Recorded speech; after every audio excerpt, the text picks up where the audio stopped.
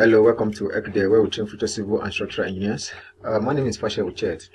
Today, we are going to complete the last part of this uh, video. We have done part 1, part 2, part 3, and today is the part 4 on how to make use of a Stonebridge detailing template. As you can see it here, how to make use of this software to detail your drawing after you have finished modeling, analyzing, and design, and you have exported to AutoCAD, and then you have brought it to Prota sorry uh, Stonebridge detailing templates. As you can see last time we have started this. You can see this drawing. We have used this uh, Stonebridge detailing template you can see to detail this. So you can see it the beams everything the slab detailing and everything we have been we have done it up to the last uh, last part. So that is that. But now the question now is how do you now um, convert it to from Stonebridge how do you now convert it to PDF at the same time group them as one for printing?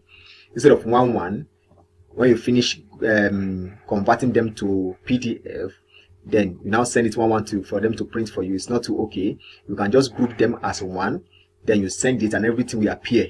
It's just one, but when you open it, you see all the drawings. Is that okay sorry. So all of this we are going to be doing in this uh, video. So first of all to start and there's a way you need to save it convert to pdf if not it will show you it will be in black and white. Is that okay? And if you want it in colored how do you go about it? So all of this will be what we'll be explaining in this uh, video. So to go straight to the point let's start. Now as you can see this is how it's expected of your of you to uh, print out your drawing. You can see structural working drawing for the name of your client where you can see it here. Then after that you have what? Your general construction and note there. From there from your what? You have your um, foundation layout etc. All of this we have done last time. So therefore let's start. Now for me for us to start this i have to start my printing from this one. I press ctrl p. Yes ctrl p let it come up. Ctrl p is coming up.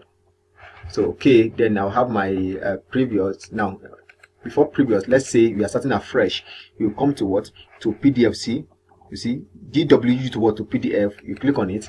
Once you have done that then you come to this uh, paper size come to paper size and choose iso a4 or a3 whichever one you want to use. So we are using a a3 so i'm going to use a3 so i'm going to use a3 i'll click on what center fit to paper then center that is that. Now i haven't done this you can see this place. If you if you put it on a on monochrome it's going to come out black and white. Is that okay? It's going to come out in black and white. Instead i use none or ACAD ACAD So, but I prefer what ACAD CTB. Since I want to be what to be in color, I will say yes.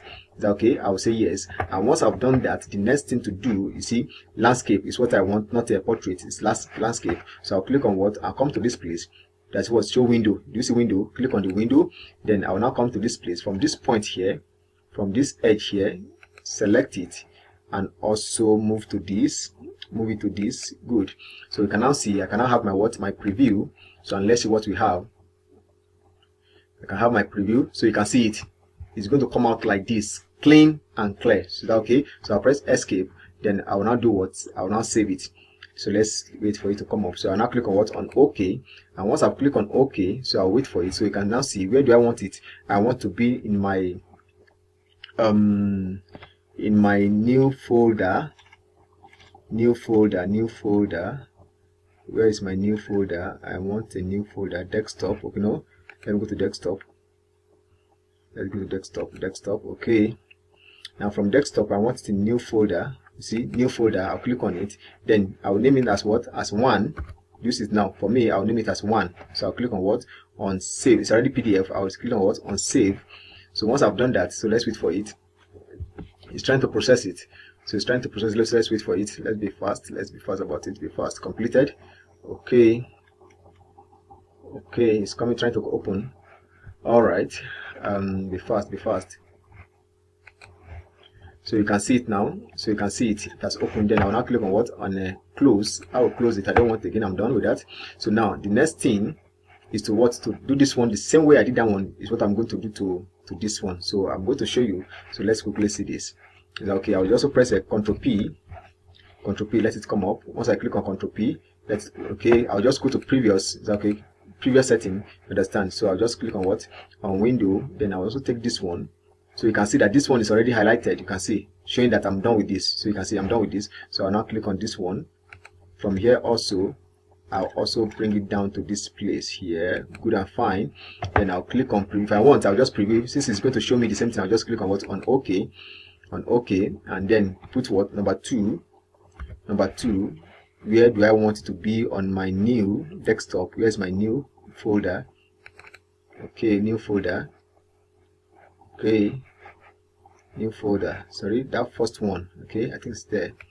Click on OK. New folder let's wait for it. It's coming up. It's coming up. Let's wait for it it's coming up. The general note is coming so you can see it. You can see it here. It's coming up so you can see it. Okay then now you can see it from here. Everything is clean and clear. So i'll now click on what? On close. So the next thing i'll also come to this place. Now i'll show you this one. This one after this one then i'm going to pause it. Then the last one then i will now do it together. Okay? So i'll click on this one cp again. Cp and let's wait for it. Cp and let's wait it. Go to previous. Click on previous. It's already on previous. So click on this one again click on this one then come to this place. You can see that this one is already selected showing that yes i've done this one. So i'll now come to this place and do what? Click on this. And then scroll to this place come to this place the edge here click on it. Then also name it as what? Um, click on ok. If you like you preview. So for me i want it on my new. Okay on new it's on new. Then number three three is okay number three then click on save. So let's wait for it to save. Let's wait for it. It's processed it's still processing. So let's wait for it. It's still processing. So as you can see so you can see it. You can see how the thing came out in colored. Do you see? You can see how it, the thing came out colored. Is that okay? So that is that. So now since we have it this way since we have it this way we have seen how to bring it out in color. So that is that. So i'll click on what? On close. Okay. I haven't closed that one. So the rest i'm going to do it is that okay? To uh, reduce the length of this video the same way i've done this one is the same way i'm going to do to all of them. There's nothing changed. Is that okay? Just that this one's number three this one is number four number five number six number seven number eight number nine 10 11 12 13 understand? So we're going to have 13 is that okay?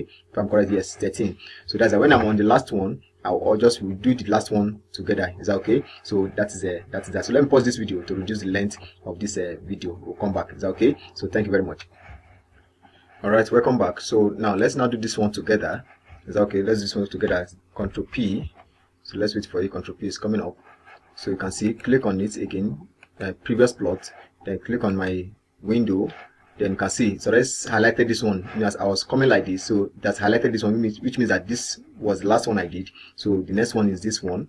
So you can see i click this place then move over it come to this place then come here and also click. And once I've clicked then I'll now click on what? On um, what's the next thing? Yes I'll click on OK. Is that okay I'll click on OK. Now you can see number uh, 12 is that okay the last number here is 12 which means the next one I'm doing now is 13 is that okay so I click on OK. And let's wait for it. I'll click on OK. So let's wait for it to come up. Let's wait for it to come up. Okay so it's coming up. As you can see it's coming up so as you can see it now so you can see what we have. So you can see it. Can you see it now? This is what we have. So you can see number 13 so that is that. Then i'll now click on what? On a close. So now looking at this one now you can see from beginning i've carried you through from beginning to the end on how to convert from your uh, Stonebridge this is Stonebridge you know when you click on it on your Stonebridge so when you click on your Stonebridge because i'm using what? My type of foundation is what? Pad. When i click on it that's this dialog box that i'm using now we what? We pop up which is this one here which I've used the sample here to, to detail this one. All of these have been explained in our part 1, part 2, part 3. Okay, so this, this is the part 4, which is the last uh, part. So now, once how to convert it to PDF from Stonebridge detailing template is what I've just shown you now. Once you have done your drawing, finish everything like this, detail everything perfectly as it is, just like the sample you are seeing that I'm using now. Once you have done that and how to convert to PDF now is what I've, have, I've just done which I believe you have gained a lot. Now, the question now is, am I going to be printing them one after the other? So let's look at it. Let's see. I'm coming. Let's see. Let's see the drawing. You can see the drawing. You can see it 1 to what? To 13. Can you see it now? Now, are you going to be sending them one after the other to your to your friend who is a printer? Are you getting what I'm saying? Are you going to send it to them one after the other instead of to just have one drawing? So now the next thing now is how do you group them to make it one? Is that okay? To make it now, maybe the name of your uh, your client is uh, Mr. Um, Mr. Johnson. is that okay so just save it as mr johnson pdf as simple as that and you send it to the to your print to for printing and once you send it as mr johnson the person that's printing it will see all of this as one and will just click on it and then send it at once you in fact within some minutes you are done printing and you are get out you you are out of that uh, of that place so now the next thing how do you now convert it to what sorry how do you now convert to what? As one pdf is that okay? So that's the next thing now. So let's go there and see how that can be done. Is that okay? So as i said how do you convert it to what? To um one pdf so all we need to do looking at this our drawing you can see we save it where? Inside our folder. Isn't it desktop folder? Isn't it? And look at them here. So how do you go about it? Now i will advise you to have this offline. This is offline i'm going to convert them merge them together as one pdf offline because i've already installed it. Is that okay? So i will now come to what merge my i have my merge file. So you can see you can see merge pdf free. Do you see now? It's an app. You can download it. So i click on it. Once i click on it i need to be online to do that. So i'll click on what? On add. Is that okay? I'll click on add. Once I click on add you can see my my PDF that I have already converted using a, from a Stonebridge detailing template. So you can see them one two three you remember isn't it? So that is that. So I now click select this one then press my shift key sorry uh, yes shift key and click on the last one. So you can see all selected. Is that okay? All selected. Let's assume I've also um, created my report design report. Definitely I will have put it here again. I'll have exported it save it here for column, for beam, for slab, etc. Everything will be here. And once everything is here, I'll just select them everything at once. I'll click on what? On open. And once I click on it, you can see all of them are here now. You can see them. If I have up to 100, all of them will be here. I'll now click on what? On merge. And once I click on merge, so let's wait for it to come up.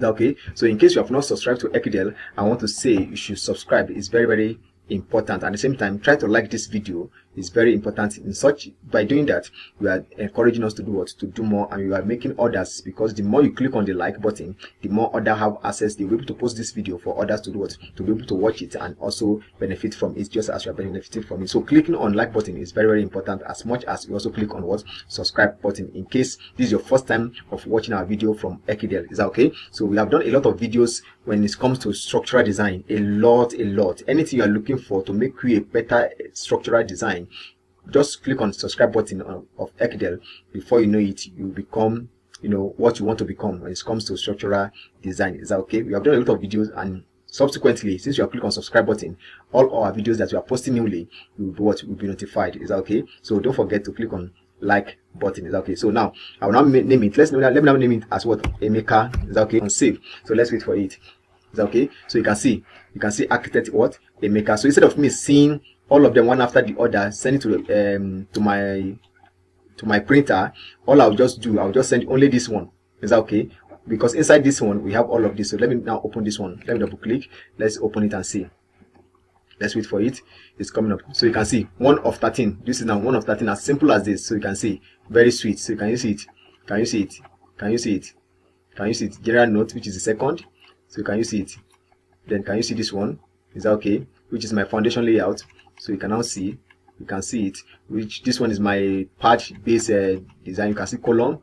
So you can see column detail. You can see you can see a beam arrangement. So you can see first floor. You can see the beam detailing. So you can see do you see everything now? So you can see how it's going. So can you see it? Up to the last one. Is that okay? Can you see it? Can you see, see my slab detailing? So can you see it? Can you see? So this is how as a structural engineer this is how it's expected of you to do what? To do your work. Is that okay? As we have if you're able to watch part one part two part three and this last part i bet you you are good to go when it comes to what? Structural um, detailing at the same time. That's using Stonebridge you'll be able to use Stonebridge perfectly well. As you can see it i've taught you we have taught you we have trained you how to make use of Stonebridge to detail your work part one part two part three at the same time part four now which is i just we just finished how to now convert your drawing in Stonebridge to PDF at the same time to now merge them together as one. So as you can see it here, as you can see it here, is that okay? All of this, if they're up to 100, if they're up to 100 now, I can't be sending 100 things to somebody. If they're up to 50, I can't be sending it. All I need to do is just to make it one. Is that okay? I've made them together. I have made them one. As I said, don't forget to install this this particular one install it in your what? In your system. It's offline. This one i'm doing now is offline. I made it offline now as you can see it offline. So that is a that is that. So i'll now click on what? On close. So in case in case you have not subscribed at the time we have a uh, group whereby other engineers are there. If you are in the course of your design you have a, uh, challenges or you have made a mistake you want to know how to rectify it why not? Once you have joined that group you'll be able to what post the question there or the challenge over the, uh, to that group and before you know it all engineers that are available on that group will quickly respond to help you solve the problem. Also the good news is that ProtaStructure 2024 is also out. So i would advise you to also get that. It's very very important. It's good.